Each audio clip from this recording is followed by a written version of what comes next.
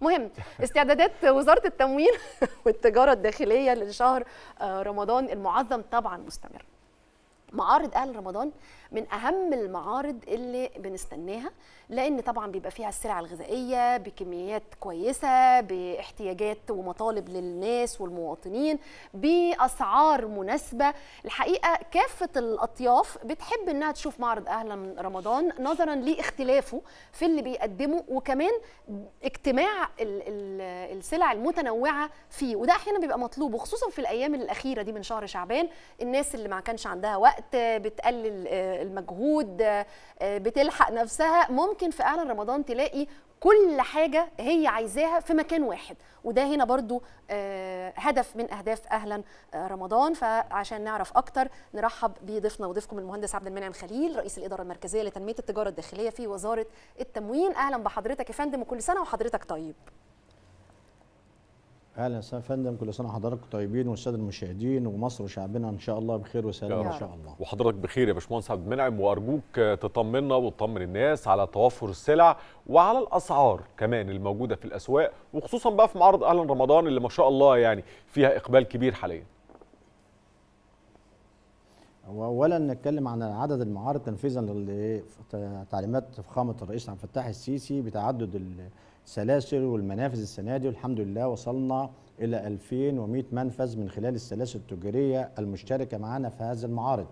وجينا اتكلمنا عن السلاسل التجارية اللي إحنا عندنا جميع السلاسل 21 سلسلة مشتركين معانا كلهم ماضيين عقود على التزامات بالتخفيضات المتفق عليها اللي هي 18 ل 28% وبعض السلع قد تصل إلى 35% اتفتح المعرض الرئيسي في قاعة المؤتمرات في مدينة نصر تحت رعاية دولة رئيس مجلس الوزراء والدكتور مصطفى مدبولي ومعالي الدكتور علي مصلحي وزير التموين والتجارة الداخلية والدكتورة نيفين جامع وزيرة التجارة والصناعة وسيد محافظ القاهرة. اتفتح المعرض من يوم 4 إبريل لحتى 12 إبريل. وزي ما حضراتكم شفتم وشاهدتم إن هذا المعرض نال إقبال شديد هذا العام وإرضاء للمواطن المصري لأن ده يعتبر النسخة السادسة السنة دي وحدث فيه تجويد وحصل فيه تحسين من خبرات ست سنوات. بجانب اتفتح 27 معرض هذا المعرض كان اذانا بافتتاح 27 معرض رئيسي في جميع المحافظات. بجانب 47 معرض فرعي في المحافظات. حتى لسه من يومين افتتح إسماعيل الوزير معرض في المؤسسة العمالية لكل محافظه القلوبيه ومعرض آخر في شارع فيصل لمحافظه الجيزة. وجميع المعارض تم افتتاحها في جميع المحافظات. نسبة التخفيضات يا فندم بتصل من 18 ل 28% تخفيضات تصل لحد بعض السلع إلى 35%. السنة دي الحمد لله وصلنا إلى 14 سلعة أساسية وهي متطلبات البيت المنزل بيت في المنزل لشهر رمضان. هذه السلع تم الاتفاق عليها مع السلاسل والشركة القابضة وجميع المنافذ المشتركة معنا في معارض أهل رمضان إن هي تكون بصفات معينة أو ذات ثابت ثابتة على أسماء.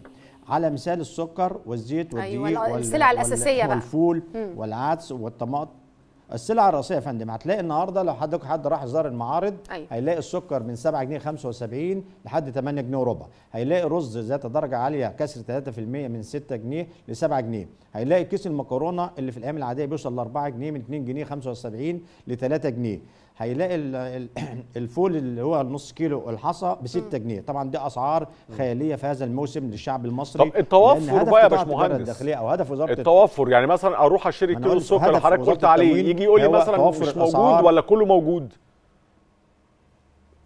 الحمد لله إحنا كوزارة تموين قطاع التجارة الداخلية عندنا إدارة لأزمات وإدارة لإدارة الموجودات في البلاد والمخزون الاستراتيجي في البلاد نطمن الشعب المصري إن البلد الوحيدة الآمنة في الوضع العربي كله مصر آمنة غذائيا لأن عندنا وضع استراتيجي من الغذاء قد يصل في بعض السلع إلى 18 شهر عندنا اللحوم متعاقد عليها لمدة 15 شهر عندنا السكر الحمد لله وهنئ الشعب المصري إن السكر بقى عندنا اكتفاء ذاتي من السكر ممتاز. نستوردش السكر لأن يعني اللي هيروح الجمعية أو يروح. المعرض هيلاقي الكمية اللي هو عايزها. ما فيش يا فندم ما بنحذرش أي كمية. كل اللي عاوز أي كمية متوفره وموجوده ممتاز. والسلع متوفره من جميع السلع اللي قلت عليها. والمفاجأة السنة دي كمان الخضار منزلينه في المجمعات.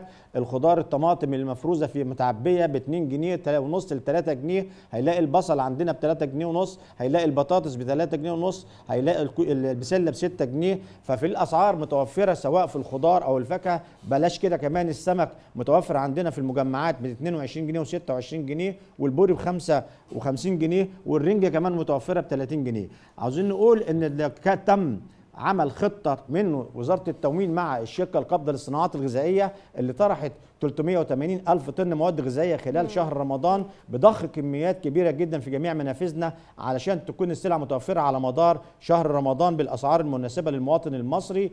تم ضخ 100 طن دواجن يوميا موجودة في المجمعات والمنافذ بتاعتنا. تم ضخ 50 طن لحوم برازيلي موجودة في المجمعات ب 65 جنيه. تم ضخ 4870 ذبيحة لحم سوداني ب 85 النهارده من هذا الإقبال الشديد على المعارض وإرضاء المواطن ده دليل خير دليل على إن المواطن عنده ارتياح وعنده انبساط من هذا هذه المعارض المنتشرة في أنحاء الجمهورية. في كافة الجمهورية في معارض مش عاوزين نعمل تزاحم مش عاوزين نخزن السلع متوفرة المخزون آمن ولكن عاوزين ناخد الإجراءات الاحترازية ضد كوفيد 19 بحيث ما إن إحنا ما نزاحمش وجميع المعارض موجودة. السنة دي مفاجأة كمان من العيار الثقيل إن شا... إن جمعيتي عندنا 1000 منفذ جمعيتي تابعين للشركة القابضة موجودين في أنحاء الجمهورية مشتركة معانا في أهل رمضان. يعني المواطن هيلاقي معرض أهل رمضان في كل شارع وفي كل نجع وفي كل قرية. فيه نفس التخفيضات الموجودة في المعرض الرئيسي. ما تختلفش عن أسوان عن القاهرة عن اسكندرية في الأسعار المتفق عليها ونفس المواصفات ونفس الموازين. عظيم عظيم.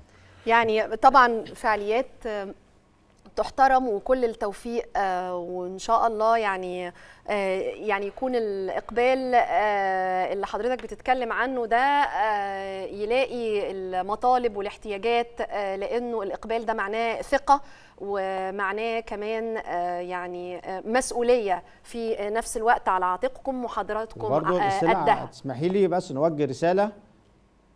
كمان نوجه رسالة للمواطن إن السلع دي تم الرقابه عليها طبقا للصلاحيات وطبقا لطرق العرض والتخزين وطبقا للمواصفات القياسية المصرية وأنت بتاخد سلعة من مكان آمن سلعة آمنة من مكان آمن طبعاً. ومعروف. فالسلع دي كلها سلع صلاح للاستهلاك الادمي ومؤمنة رقابيا من من وزارة التموين والتجارة الداخلية لا وما نسيتوش ما نسيتوش يا فندم الرنجة والحوادق علشان شم نسيم جاي في رمضان السنة دي. كل سنة وحضرتك طيب. موجودة يا فندم والله آه. الرنجة عرضنا ب ما 30 جنيه حضرتك في قلت في المجمعات. الكلام. موجودة يا فندم موجودة. كل سنة وحضرتك طيب. الكوبونات برضو ما تنسوناش نقول الكوبونات. الشركة القابضة. مم، اتفضل. إيه الكوبونات دي؟ الكوبونات آه. اللي هي مطروحة من الشركة القابضه. آه. إن المواطن بياخد الكوبونات يديها لأي مواطن تاني بدل ما ياخد الكرتونة بياخد الكوبون ده بيصرفه من أي منفذ من الشركة. القابضه من منافذها. هذا المواطن بياخد السلع الاحتياجات الأساسية للبيت بتاعه. بدل ما ياخد سلعه وكنت تكون حد اداله في كرتونة تانية أو أي حاجة لا بيشتري بهذا الكوبون. ما هو قيمة؟ سلع غذائية من أي فرع من فروع الشركة القابضه بقيمة هذا الكوبون. والكوبون لا يصرف إلا مرة واحدة وهذا الكوبون لا يتم صرفه بأي نقود بأي فئة نقدية. إنما يتم صرفه عن طريق السلع الغذائية المطلوبة للبيت المصري. ده شيء محترم جدا. بنشكركم. شكرا جزيلا مهندس عبد المنعم خليل رئيس الإدارة المركزية لتنمية التجارة الداخلية بوزارة التموين.